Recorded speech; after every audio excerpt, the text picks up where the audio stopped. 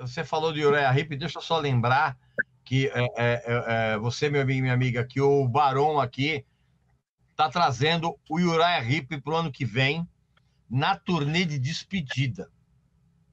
Assim, ou você assiste agora, ou você não vai assistir mais.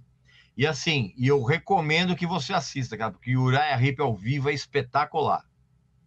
E, e outra, eles vão terminar eles vão terminar a. a eu, eu, eu, acho, nem sei se eles vão continuar gravando discos, mas assim, certamente eles vão terminar de excursionar, não vão mais excursionar, e assim, e é uma oportunidade para você realmente ver uma banda encerrar as atividades.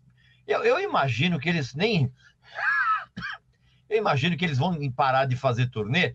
Eu não, eu não, consigo vê-los gravando discos mais. Eu acho que o Uriah vai parar para valer você tá entendendo? Aí cada um vai fazer as suas coisas aí.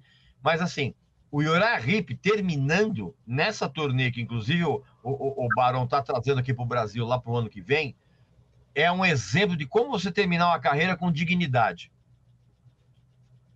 É, os Não caras estão entregando tudo, né, cara?